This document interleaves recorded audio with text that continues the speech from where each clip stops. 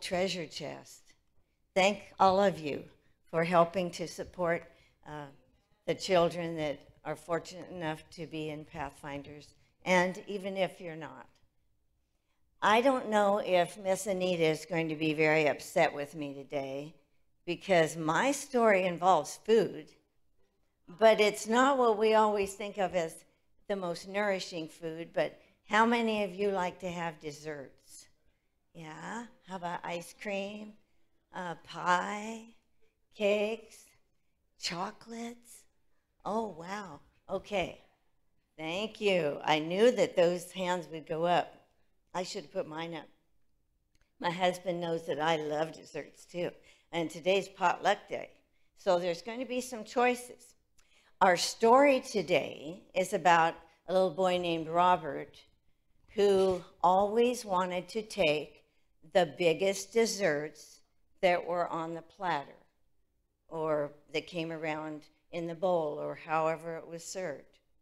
So unfortunately, since he always picked the biggest cookie or the biggest piece of cake or whatever it was, um, his two brothers weren't too happy with him.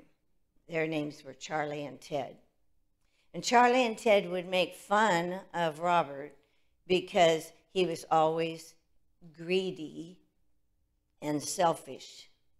And what, who can tell me what greedy and selfish, which are synonyms, they both pretty much mean the same thing. Ria, what does that mean? That's right. So you don't think of others, you're not worried about whether somebody else gets any or if they get a little bit. But so mother wasn't too happy with Robert. Uh, I don't think she got after uh, his brothers for uh, calling him names, but she probably did just a little bit because that's what mommies do. But she was really concerned about the way Robert was going because this was a trend in his life. If there was a, a birthday party of a classmate or um, a neighbor or someone in the family, you could be sure that Robert would be the one to try to get there first or to be anxious to get the biggest and the best. Well, it just happened that his aunt, uh, his mother's sister in this case, uh, just lived down the street.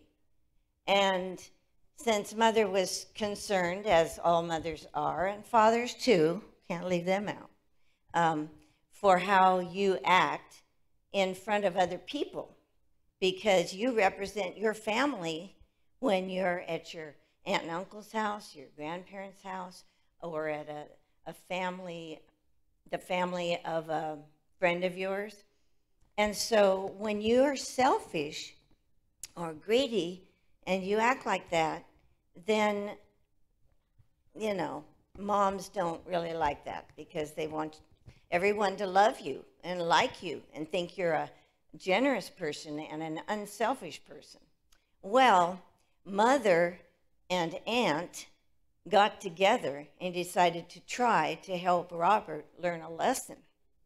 So, aunt, in the story, the aunt isn't mentioned by name, but it really doesn't matter. Um, Auntie invited the family over for dinner, and since Robert knew that, thank you. That was polite to sit down.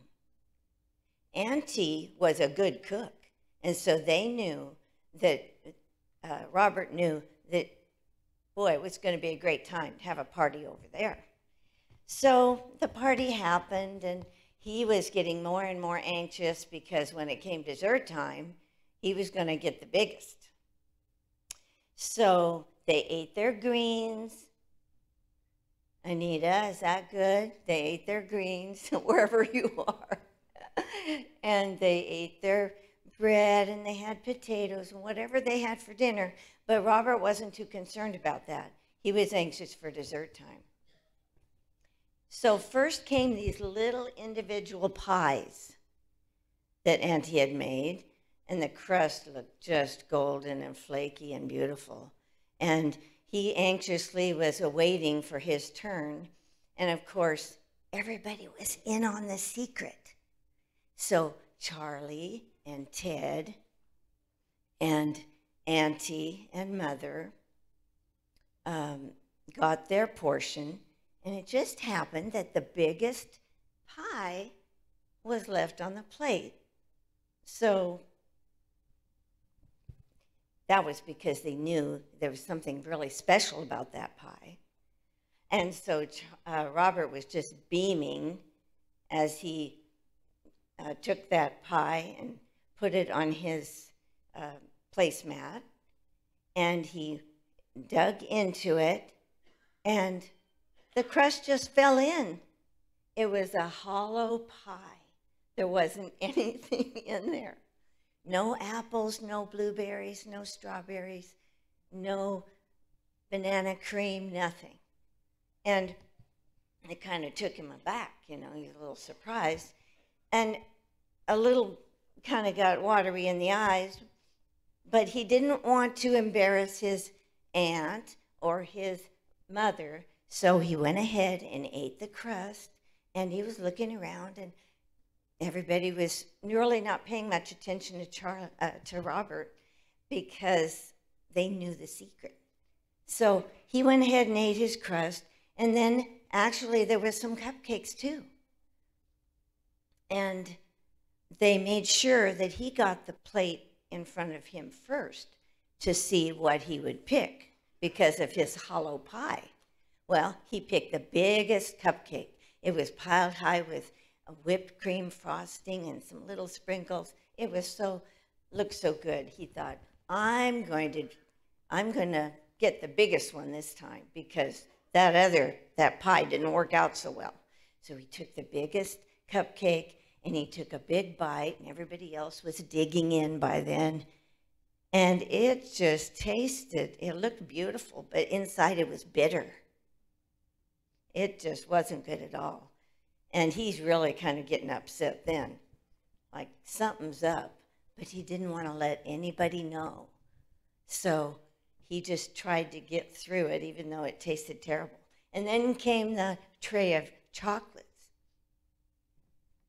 And he decided that right in the middle, the two biggest chocolates, he was going to make up for the pie and make up for the cupcake. And he got those two big chocolates. And he took them both and he took a, a big, I think he probably put it completely in his mouth at once. And oh, it was horrible. It was horrible. And he took the second one. He thought, well, the second one can't be horrible, too. But it was worse than the first one. So he realized something, something was up, but he didn't want to let anybody else know. So it was time to go home.